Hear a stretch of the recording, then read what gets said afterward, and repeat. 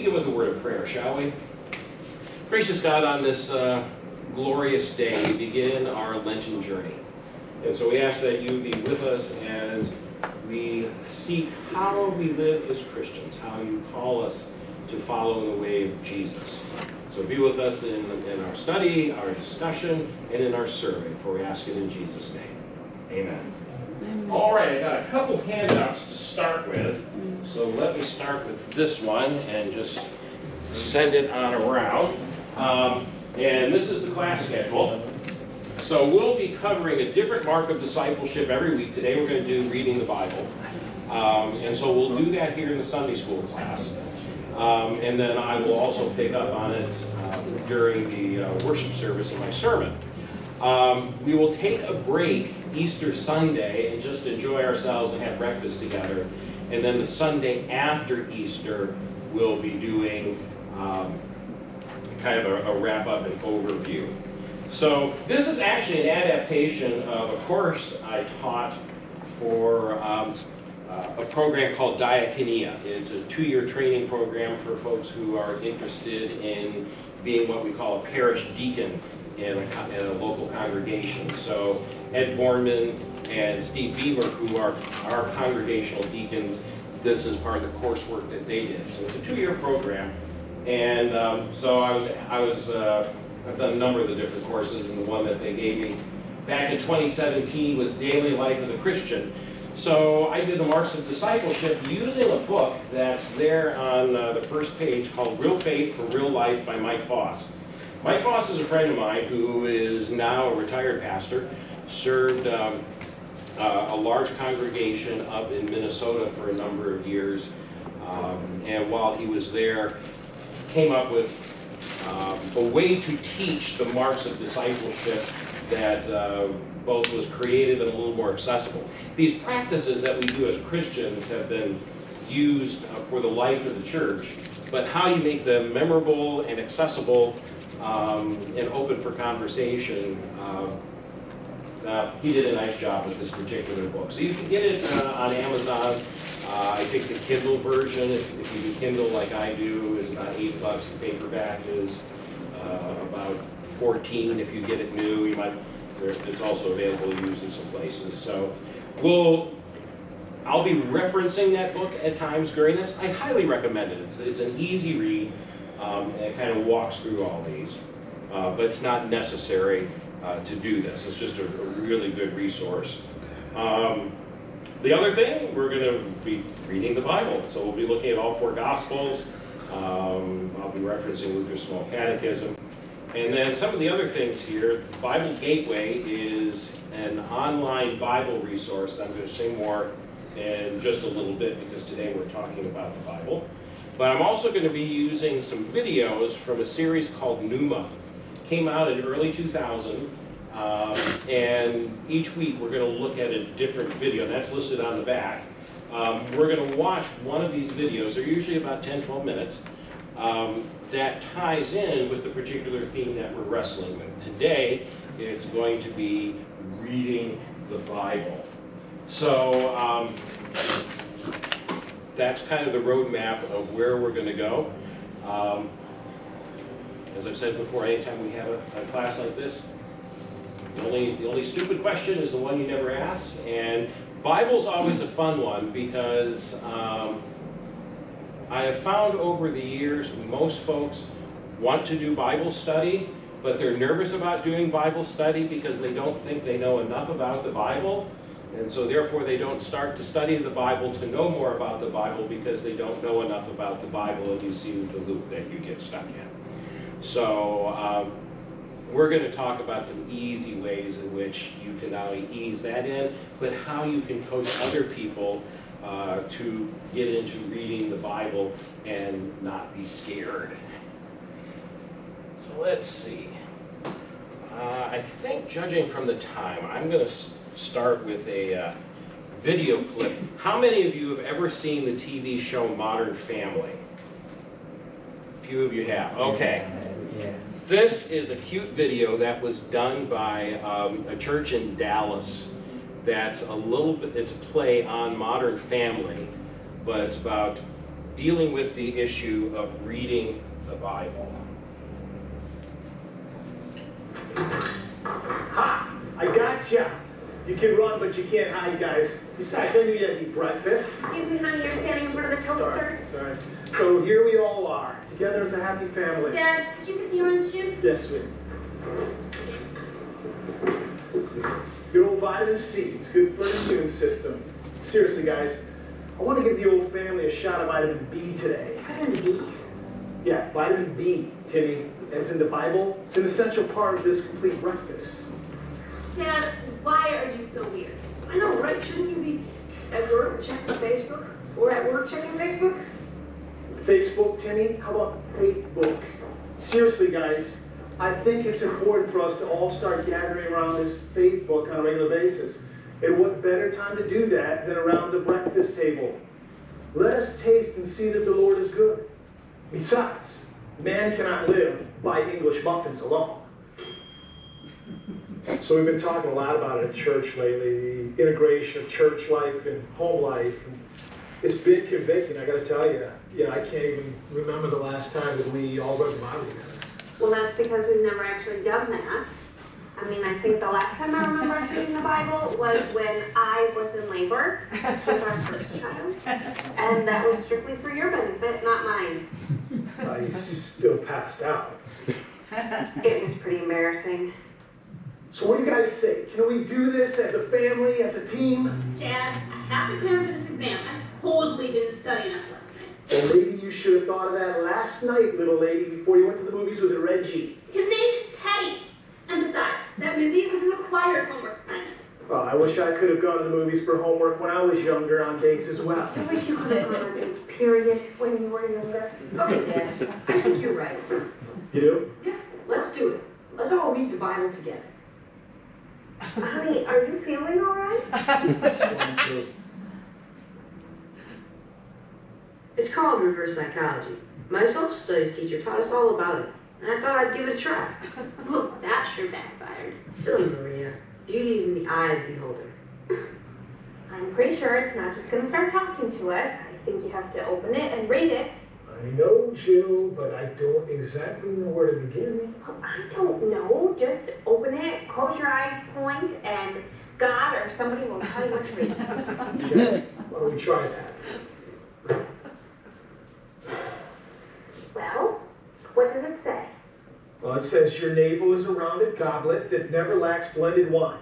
Uh, your waist is a mound of wheat encircled by lilies. Your breasts are like. Okay, okay. That's the Bible? This is illustrated. I just never knew the Bible could be so exciting. Don't get too excited. Must been reading the Psalms.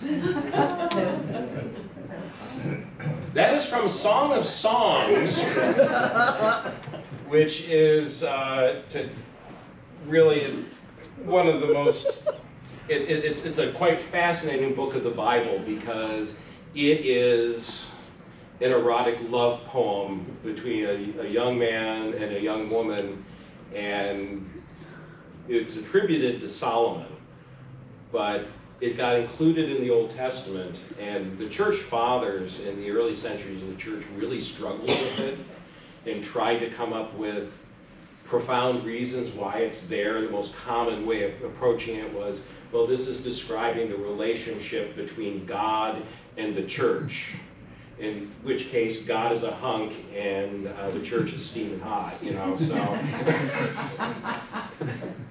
Yeah, so, so, so be careful, there, there's, a, there's a, a, a joke that's gone around with pastors for years about the guy who, who was just at the end of his rope and thought he just needs to end his life, it's just not worth doing, and so he's sitting in a hotel room, he says, well, maybe God will tell me what I should do, and will stop me, so he opens up the Bible and points, and does the same thing, points to a verse and said, and then Judas went out and hung himself. He said, God didn't mean that, God didn't mean that, so he opens it back up again, points down, go thou and do likewise. But, you know, we, we kind of treat the Bible as, as almost a magic answer book. Um, or, how many of you remember the magic eight balls?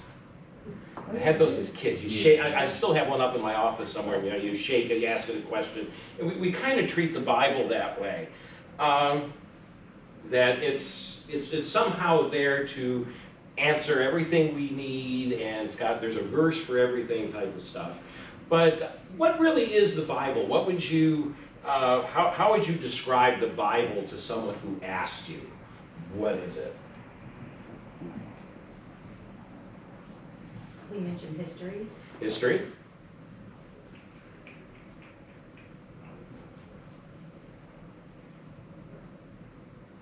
Inspired visions and experiences. inspired visions, inspired experiences of people encountering God. What else?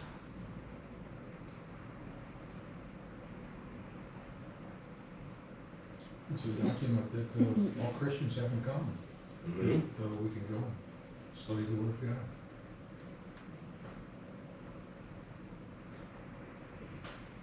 We all That's it. use the same Old Testament, New Testament. Unless you have the wrong interpretation. Yeah, if you're staying at a Marriott, you're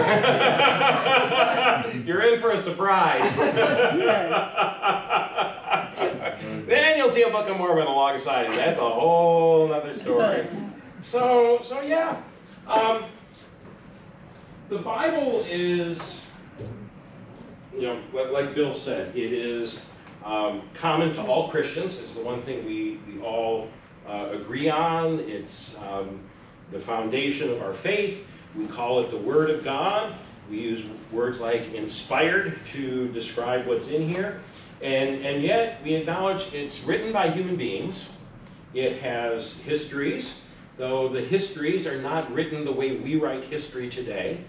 Um, the histories are, are highly personalized, but they do, the histories recount real events. It also includes parables, stories that were that are not intended to be taken factually, but are, are there for the purpose of teaching. Jesus' parables are a great example of that. Um, the book of Jonah is another example. You have poetry, like a Song of Songs and Psalms. Uh, you have wise sayings and proverbs. You have letters. In the back of the Bible, you, in the New Testament, you've got Paul's letters that he literally wrote to Christian churches who were having difficulties. So they wrote him a letter with questions, and he wrote back with his answers. Um, and so all these things are grouped together in a book that roughly, if you take the earliest portions of it to when it was wrapped up, was written over about 2,000 years. Really long time.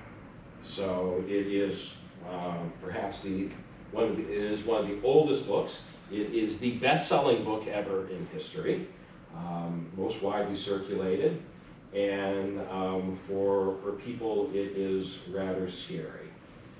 Now, today, um, the first Sunday of Lent always begins with the story of Jesus in the wilderness, being tempted by the devil. And it's in Matthew, Mark, and Luke, first three Gospels. One thing to keep in mind about the Bible what are the four Gospels? Okay. Matthew, Mark, and Luke have a lot in common. Uh, many of the things that they, that, that they record and talk about are shared among all three. So the temptation in the wilderness is there. Um, some of the description, descriptions of the Last Supper, that, that's all in there.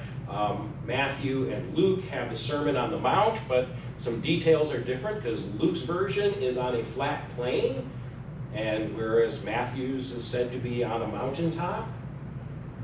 John, on the other hand, is on planet Mars. He is just, he is somewhere else doing something entirely different.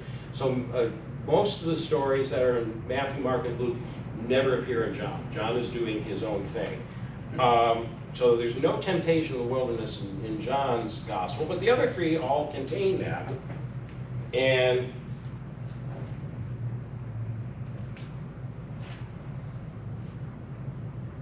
temptation happens right after Jesus is baptized. Holy Spirit drives Jesus out into the wilderness, and then he is tempted by the devil. So let me go ahead and, and read this for you. Jesus, full of the Holy Spirit, returned from the Jordan and was led by the Spirit into the wilderness, where for 40 days he was tempted by the devil. He ate nothing during all those days, and when they were over, he was famished. The devil said to him, If you are the Son of God, command this stone to become a loaf of bread. Jesus answered him, It is written, one does not live by bread alone. Then the devil led him up and showed him in an instant all the kingdoms of the world. And the devil said to him, To you I will give their glory and all this authority, for it has been given over to me, and I give it to anyone I please. If you then will worship me, it will all be yours. Jesus answered him, It is written, Worship the Lord your mm-hmm. God and serve only him. Then the devil took him to Jerusalem and placed him on the pinnacle of the temple, saying to him, If you are the Son of God, throw yourself down for here. For it is written, He will command His angels concerning you to protect you, and on their hands they will bear you up, so that you will not dash your foot against a stone. Jesus answered him, It is said, Do not put the Lord your God to the test. When the devil had finished every test, he departed from Jesus until an opportune time.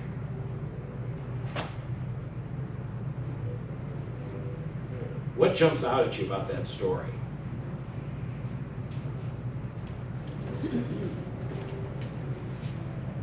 The best way to, to convince somebody to do something is to get where they are and then use it to. Jesus has an answer for every challenge. Where's the answer come from? Yeah. So Jesus is quoting the Old Testament.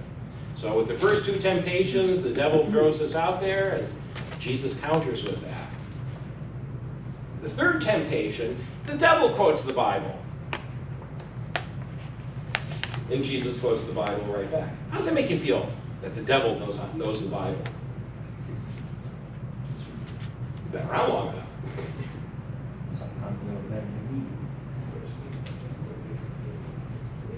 The Bible can be misused as a weapon.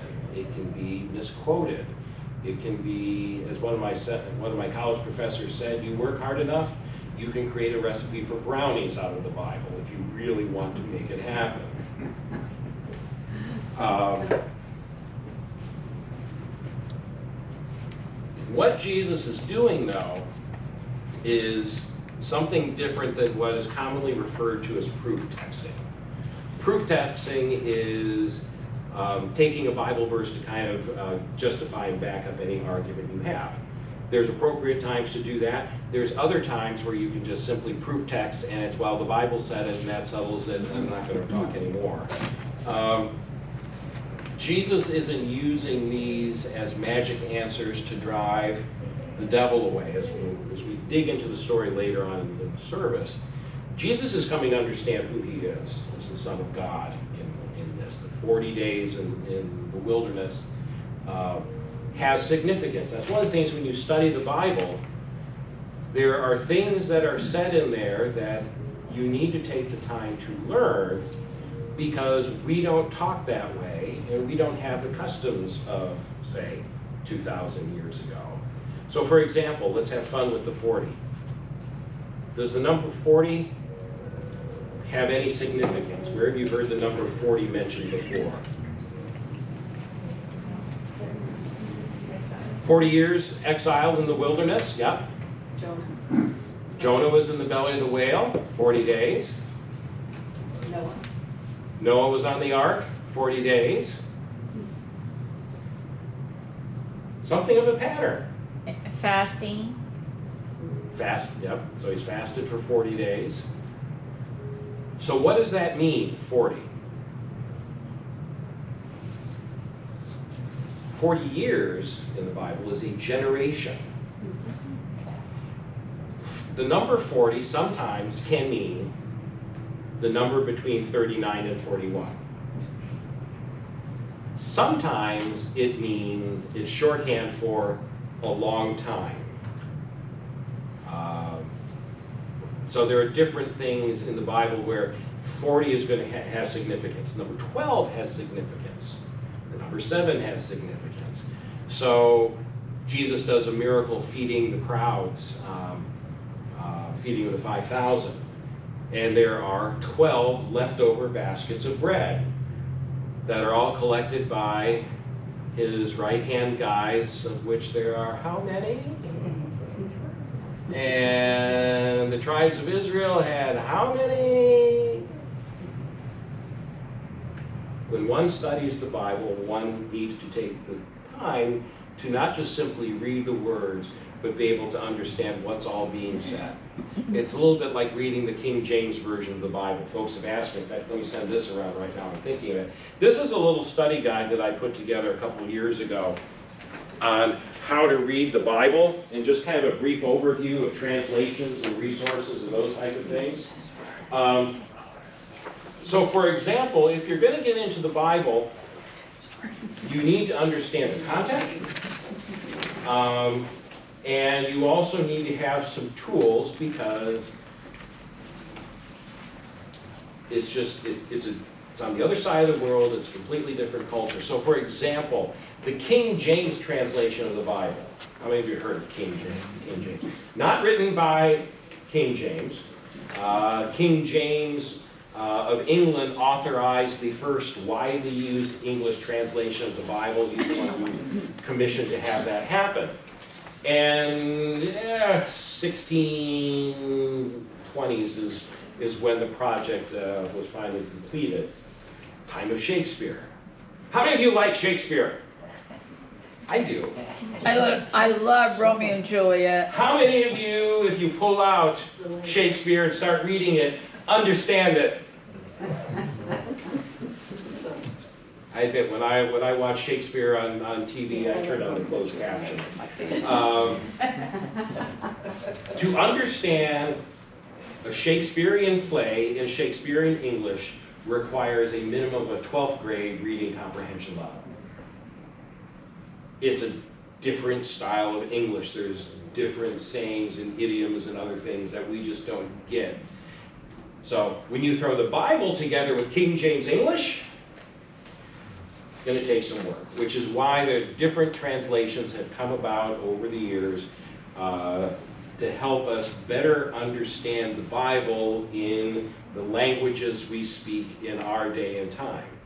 Martin Luther um, is the one responsible for that whole movement because prior to Luther it was in Latin, and if you translated anything else, you got killed and burned at the stake. Or burned at the stake and then you die. But uh, um, so now there are a whole variety of different translations that are available out there to better help you understand. We talked about some of those a couple of weeks ago. Uh, in fact, in here, if you turn to page four, I've got a couple recommendations there. So before you really can get into reading the Bible, you need to get a Bible. Um, so eventually you can get to the point, like Jesus and the devil, where you can actually quote it and remember parts. Um, the Lutheran Study Bible is the first one that I have there as far as the print Bibles. It's also available electronically. But uh, this is my copy. Um, it says NRSV, New Revised Standard. Um, and this is what we use in our bulletins. This is what's in our pews, those green ones we looked at a few weeks ago. The nice thing about the Lutheran Study Bible, and I always recommend folks if they want to get a Bible, always get a study Bible because it's got all the handy notes and it has paragraph headings. It helps you follow what's going on. If you just get nothing but the print, like the ones we have in the pews, guarantee you're going to get lost. You might get through Genesis, probably Exodus, and then when you hit Leviticus, you're done. And if you, if you really plow through, numbers will do you in because there's nothing more fun than reading a census in the Bible. Um, so, having the study notes that can explain some of the phrases, some of the places, and so forth, you know, having maps in the back.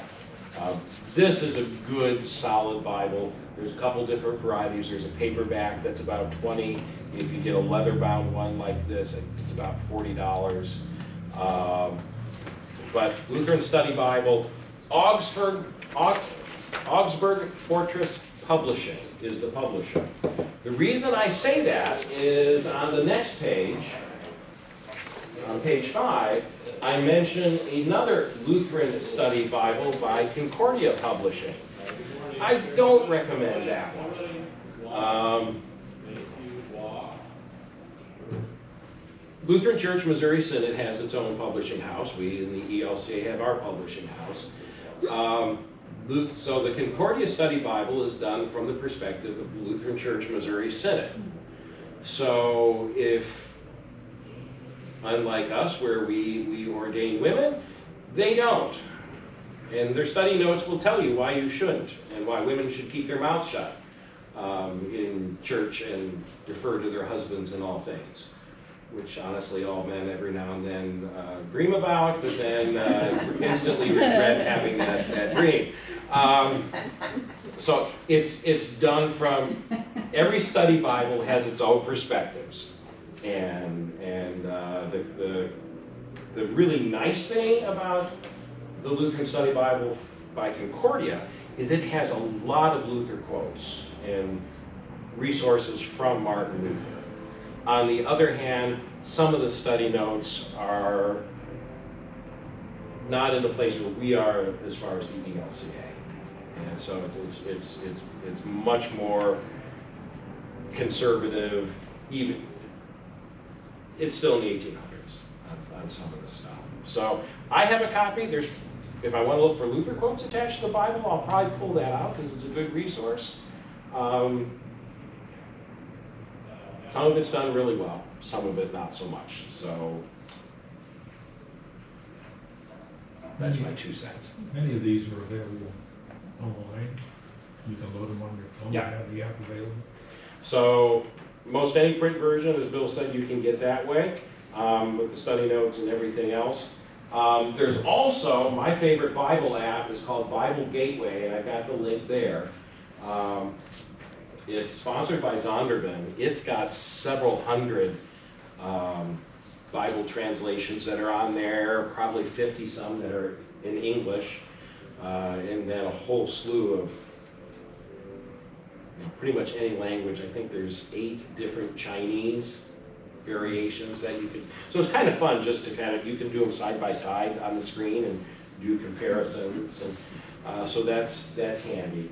Um, Logos Bible software originally started out as a very heavy-duty uh, Bible program for folks who are seminarians or uh, college professors who really were into Greek and Hebrew.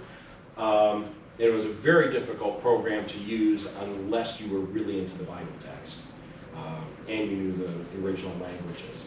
They have since, in the last 10 years, absorbed three other companies that did basic Bible apps. And so it now is, is a very accessible um, base. They got a couple different base versions. So that's, that's a good one to take a look at. Unlike Bible Gateway, which is free, Logos you have to pay for. But um, it, it also provides with more tools. So, And, and like, uh, like our school with, well, cause you know, our school is religious. It goes, uh, what our school, that, they, that, we use Bible Gateway. That's what, that's what the school recommend for us to use. Especially with, um, we have a, a religious class, I'm gonna be taking at some point. And that's the one thing that they recommend, at the university. Bible Gateway is both a web page and it comes in, in apps, um, which, which is handy. Nine thirty-six. Let me pause for a minute and ask, what questions do you have right now? What questions have you had about the Bible that have either gotten in the way of you studying the Bible, or has bothered you, or you just have always wanted to ask? Martha? If the Israelites are the chosen people, what does that make us? chosen as well. And, and the place to read that, about that, is actually in the book of Romans, um, where the church in Rome asked that very question. If the church is now the new Israel, if we're now the new chosen people, what does that mean for the people of Israel? Um, are they now left out of the cold? Has God turned his back on the people of Israel who haven't accepted Jesus? Luther wrestled with that question. Paul makes it very clear in the book of Romans when God makes a promise, God keeps it. And if you read the whole of the Old Testament, no matter how many times the people of Israel rebelled against God, God never gave up on Israel. Oh, they got punished, they got exiled, they had to be responsible for the consequences of their actions. But Paul makes it clear in Romans that God has not given up on the people of, of Israel, and they remain his chosen people because God is gracious and merciful, and the covenant that God made with Abraham was unconditional. God will accomplish these things. And that's one of the things when you get into the Bible, there are certain things when you start reading the Bible, you have to start at the beginning, there are certain things that are themes that are carried out from the beginning to the end. So it's no accident that Genesis starts with the creation of the world, human beings in the Garden of Eden, and then the fall, and then the explanation of why the world is the way it is now. And then the last book of the Bible ends with, well, you have apocalypse, but it doesn't quite happen. The world ends and the world is recreated in an instant. And then God re- recreates the world the way God intended, and chapter 21 is a remarkable image because we have a tendency to think, oh, you know, when we die, we're going to go to heaven. No, that's not what Revelation says. Revelation says when everything is set right, God comes and lives among his people here, which is a remarkable vision. That the world is, is, is set right the way God intended from the beginning. So that's why you have the bookends. That uh, the New Jerusalem comes down from heaven and God announces that he will now dwell with his people and there will be no more tears and no more sadness. Beautiful image. But to get from point A to point B, you have to go through the whole story. One thing that is key out of Genesis is the story of Abraham. God makes a covenant, a guy named Abraham, within known history, somewhere around eh, 18, 1900 BC. Um, and God makes a covenant. It's a one-sided covenant. God says that he will bless Abraham with many descendants, he will give him a promised land, and that his descendants will be a blessing to all the nations of the world. And God says he will accomplish this.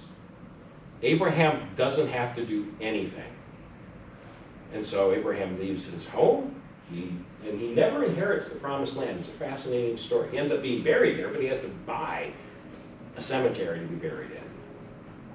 But those promises to Abraham carry on throughout the entire Bible, and they're key to understanding who Jesus is. So, reading through the Bible is important because it's it's not just a random collection of, of library books. There, there is an underlying theme throughout it all, which is where a study Bible like this can be really helpful because in the back, it's got a reading program. Because kind of like what we saw with uh, the family there, you, you kind of wanted to wonder, okay, where do I start? What do I do? How does it all fit together? A Bible reading plan. I actually have links on this. too. Uh, the sheet that I just handed out to you, I'm also going to post online on um, both Facebook and the webpage, uh, which makes it a little bit easier to hit the hyperlinks for some of those connections. I'll have it up as a PDF. But a good study Bible is going to have a reading plan. In this case, the Lutheran Study Bible gives you three different choices the challenge, the survey, and the sampler. So you can go, you can read it all the way through. You can do the challenge plan, which is most of the Bible. You can do a survey, which touches on specific important stories and themes. And then a sampler to kind of give you just a little taste. What's all in there? And there's lots of different places you can go to have different types of Bible reading plans. But when you have one like this, start with the easiest first. What I've always taught church leaders, it applies to Bible study as well. Um, celebrate small victories.